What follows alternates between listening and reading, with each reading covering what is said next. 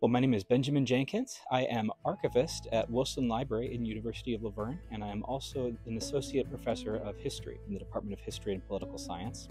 And today I'd like to talk about what we call the Super Tents, or more formally, the Sports Science and Athletics Pavilion at the University of La Verne. Now celebrating its 50th anniversary, the Super Tents really solved a lot of practical needs that the university had back in the 1970s when it was overcoming a number of space challenges. When it was opened in 1973, the super tents really provided a lot of space for the university that was also configurable. It allowed uh, faculty members to open an art studio, to have athletic practice in the basketball court on the second floor.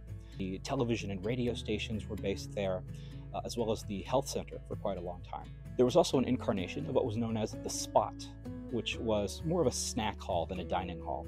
Uh, but it was a place where students could catch up with each other, catch some refreshments, and uh, just enjoy the more social aspect of being a college student.